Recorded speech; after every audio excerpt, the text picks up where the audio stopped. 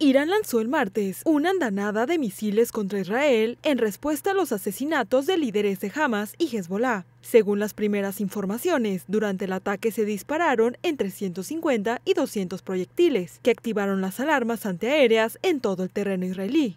El ejército de Israel indicó que interceptó un gran número de misiles y que hubo algunos impactos.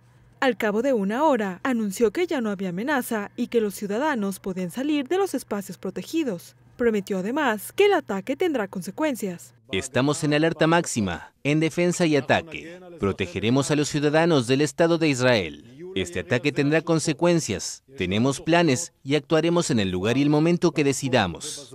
Los guardianes de la revolución iraníes amenazaron con llevar a cabo ataques demoledores si Israel responde al ataque del martes. El lanzamiento de misiles iraníes se produjo el mismo día en que Israel anunció operaciones militares terrestres en el sur del Líbano contra el movimiento islamista Hezbollah, aliado de la República Islámica. El del martes fue el segundo ataque directo de Irán contra Israel tras otro en abril, en respuesta a un mortífero ataque aéreo israelí contra el consulado iraní en Damasco. También el martes, en el barrio de Jaffa de Tel Aviv, cuatro personas murieron y otras siete resultaron heridas en un ataque con armas automáticas llevado a cabo por dos personas que, según la policía, fueron neutralizadas. Con información de AFP, para Quiero TV, Gabriela Pasamonte.